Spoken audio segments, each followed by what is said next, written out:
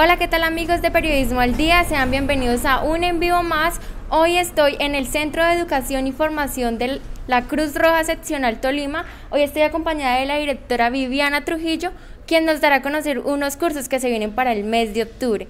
Hola Viviana, ¿cómo estás? ¿Qué te parece si empezamos a dar a conocer los cursos? Hola Carla, muy buenos días, gracias por la invitación. Efectivamente, el Centro de Formación y Capacitación de la Seccional Tolima tiene una amplia oferta educativa para el mes de octubre. Tenemos diferentes cursos y talleres en modalidad virtual y semivirtual. Entre ellos está el curso de manejo de ambulancia y vehículos de emergencia, el de humanización en servicios de salud, primeros auxilios básicos, administración de inmunobiológicos, entre otros, que están ya en la oferta educativa y en las inscripciones están desde el primero de octubre hasta el 8.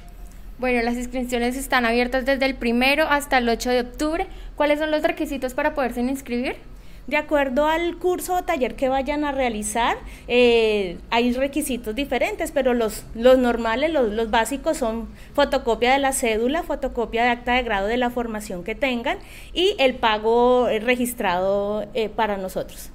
¿Cuándo inicia y cuándo finaliza este curso? Los cursos están proyectados para iniciar entre la segunda y tercera semana de octubre. Todos tienen diferente intensidad horaria, pero pues no se demoran más de dos semanas. Vale. ¿Dónde están ubicados? Eh, ¿A qué línea telefónica se pueden comunicar? Claro que sí, estamos ubicados en la carrera segunda, número 41197, barrio Santa Elena.